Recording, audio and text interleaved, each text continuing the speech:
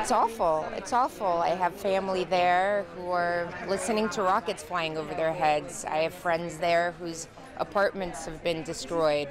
Um, you know, I have friends who've been separated from their children. So, yeah, it's very difficult. Piece of art. So here you go.